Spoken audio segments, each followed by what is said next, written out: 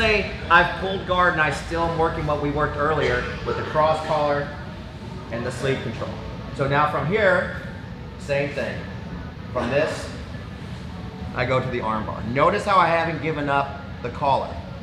So that way, if he starts to posture and pulls his arm out, now I've got Canto choke, right? At the very least, if I'm not getting the Canto choke, I'll grab the sleeve, pull it across, switch off to my scissor armbar, right? So that's what I want you guys to work from here.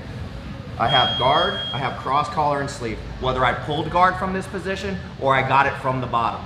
So now once I'm here, lock that shoulder in, come through, here. He defends by pulling his arm out.